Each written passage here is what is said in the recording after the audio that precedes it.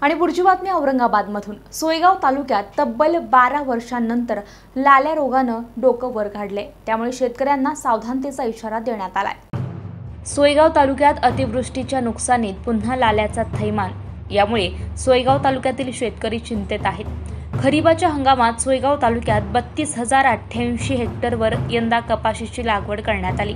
त्यापैकी ठिबक सिंचनावर अठरा हजार पाचशे अकरा हेक्टरवर लागवड झाली. नुकत्याच झालेल्या अतिवृष्टीच्या तडाख्यात खरीपाच्या सर्व पिकांचं नुकसान झालंय. अचानक पावसाने उघडीप देताच लाल्या रोगाचं आक्रमण या पिकांवर आढळून आलं.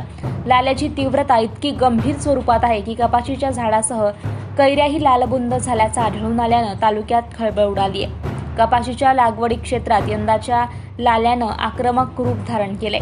झाडाच्या शेंड्यापासून ते बुंध्यापर्यंत लाल्याचं आक्रमण जोरदार आहे. त्यामुळे सोयगाव तालुक्यातील कपाशी पिके पहिल्याच वेचणीत संकटात सापडली आहेत.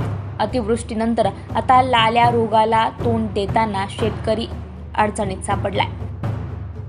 द व्हॉइससाठी विजय चौधरी सोयगाव औरंगाबाद.